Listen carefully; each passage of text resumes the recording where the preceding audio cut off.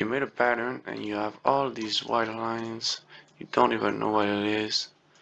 And this is fucked up too. I'm gonna show you how to get rid of them.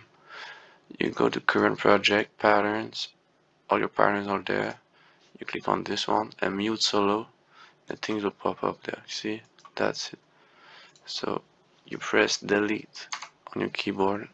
No you did you click on it. Now it goes. Like that. Like that you see. So that's how you do it. And how to prevent it from happening. It's when you record don't press these dots or don't mess with that in the in this like this here. When you're recording and you're never gonna have this problem. And if you ever have another problem whether it's an automation automation like that and you don't even know how you did it.